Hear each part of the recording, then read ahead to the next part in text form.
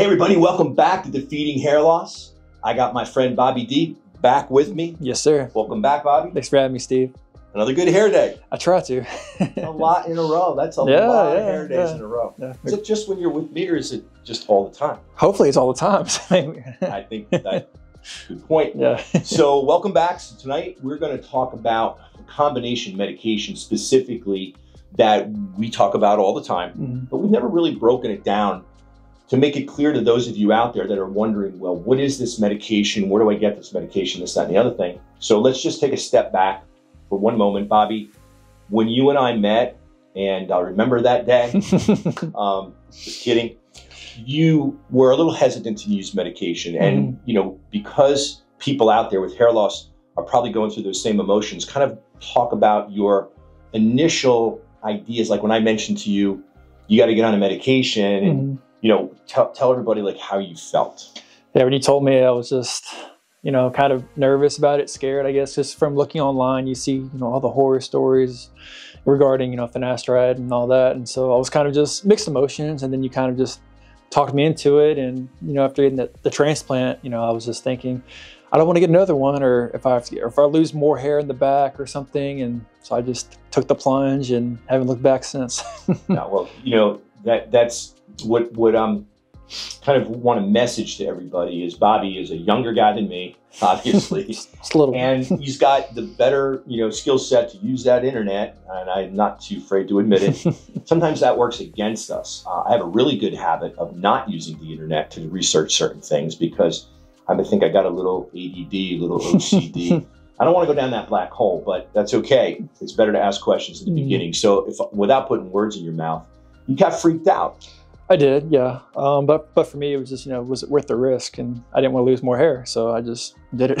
so guys in your age are kind of weighing, and this is what the internet tells them between, you know, oh yeah, so some sort of sexual side effect versus Mhm. keeping your hair. And, you know, it's a struggle because Mhm. I get it. Like you're in your mid 20s and you're like, man, you know, like I know when I was in my late teens, I was like, yeah, really, I'm losing my hair. But when it comes down to a choice of, you want to continue to have sex or do you want to have your hair? I mean, I guess that's Yeah. a little bit of a hard, Hard decision. question. So I understand. So, you know, the, the medication is very safe. It's very affordable.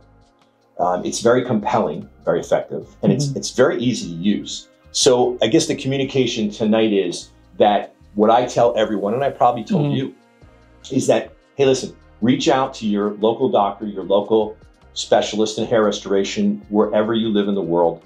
Not so sure about outside the country on how uh, easy it is to get a hold of the compound medication we talk Mhm. about, but definitely in the states you can get compounded medication. If you don't know where to get it, just let us know and we'll help you out. It's got one milligram of finasteride. It has five milligrams of minoxidil, and they throw in a milligram of biotin. So none of this stuff is going to hurt you. If it was, I wouldn't be on camera trying to convince you to Mhm. use it. Bobby and I have become Yeah. pretty good friends.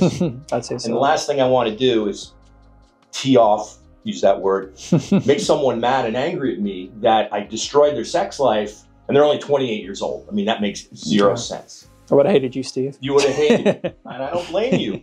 And if I'm out here promoting this stuff, I deserve all of that because that's not fair. And by the way, someone like myself that is in this industry actually benefits from those of you that don't use it because then all you have left is to go for hair transplants and hoping and praying for Mother Nature to go easy on you so you don't progressively lose hair, which we know is going to happen.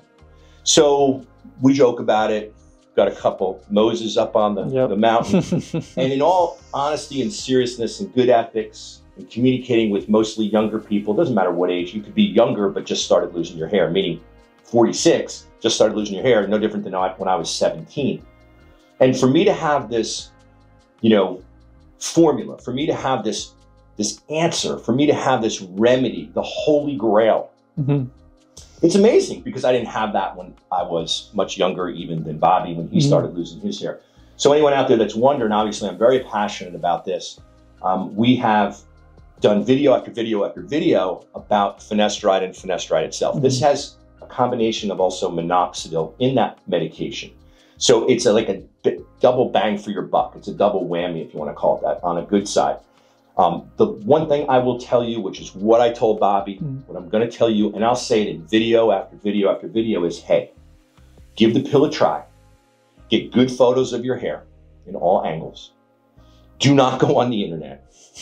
Give it six to eight weeks and see what happens. Now, you're not going to see much change in your hair. You'll see less hair fall, less hair loss in the shower, but you're not going to see your hair change too much.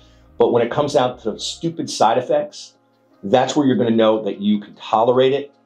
If you're Bobby's age, in his now early 30s, was in his late 20s, you have like less than a half a percent chance that you can possibly have a slight drop in your libido.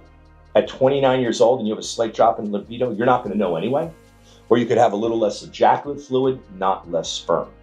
Then you have the option. If you were to suffer from any of those type of side effects, you can get off the medication.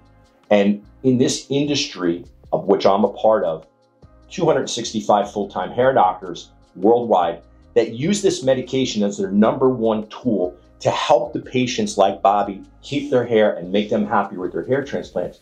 There has never been a documented case where someone has gone on the medicine, gone off the medicine with the side effect, and then it didn't turn around and go back to normal. That has never happened. Now, you might be watching this video and say, that's not true, Steve, because I saw where it did and it's on the internet and it looks pretty darn compelling to me. As far as I'm concerned, that's not true. They're on there to scare you, these, you know, anecdotal stories and all this stuff on different blogs and stuff like that. We're not seeing this industry. If we did, one more time, I will say this, our revenue would go up because we wouldn't want to deal with people suffering from any kind of side effect, never mind a sexual side effect. so I hope this helps and it helps put your mind at ease. Um, I also don't force anybody to take the medication, and that's what we had talked Yep. about. I'm not a preacher, might be Moses, but not a preacher. and I just want you guys and girls, and we have a different combination medication for those girls, those females in childbearing years. But anyway, I just want you to stop losing your hair. That's what I do.